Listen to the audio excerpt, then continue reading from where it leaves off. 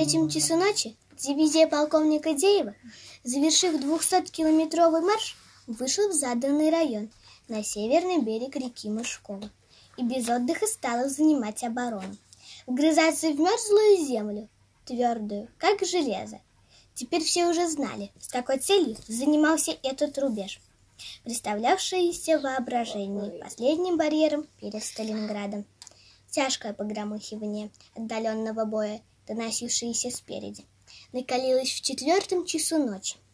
Небо на юге посветлело, розовый сегмент прижат темнотой к горизонту, и в коротких затишьях в той стороне, откуда приближалась невидимая, неизвестная, слышны были на занимаемом рубеже скрежет лопат звонком каменном грунте, тупые удары кирок, команды, фырканье лошадей, два стрелковых батальона, три батареи артполка и отдельные противотанковые дивизионы были выдвинуты, переброшены через реку по единственному мосту, соединявшему станицу, и закреплялись впереди главных сил дивизии.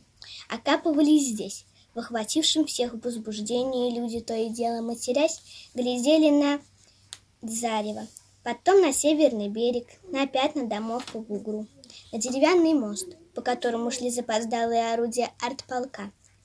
А река Мышкова, разделявшая станицу, лежала внизу, синее под звездами. Снег густым дымом сдувало с высоких ее берегов. Поземка жгутами скользила, неслась по льду, оббивая впаянные в лед свои моста. Батарея лейтенанта Дроздовского, поставленная напрямую на водку, позади боевого охранения, взрывалась в землю на самом берегу реки. И спустя три часа изнурительной работы орудия были вкопаны на полтора лопатных штыка.